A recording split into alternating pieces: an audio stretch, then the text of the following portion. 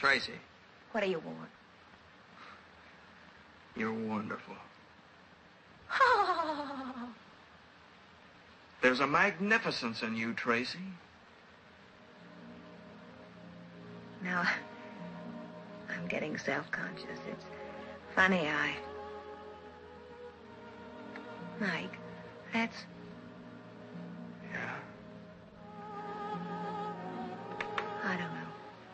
Go up, I guess. It's late.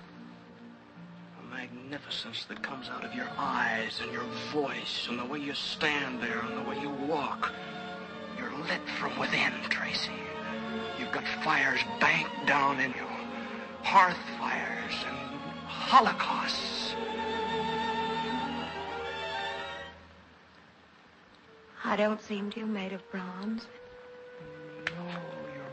Out of flesh and blood. That's the blank, unholy surprise of it. Oh, you're the golden girl, Tracy. Full of life and warmth and delight. What goes on? You got tears in your eyes. Shut up, shut up. Oh, Mike, keep talking, keep talking. Talk, will you?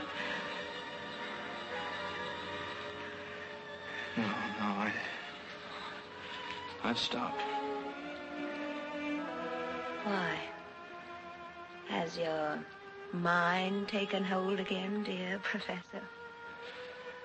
Well, good thing, don't you? Don't you agree? No, Professor. All right, lay off that professor stuff now. Do you hear me? Yes, Professor. It's really all I am to you, is it? Of course, Professor. Are you sure? Why, yes, yes, of course.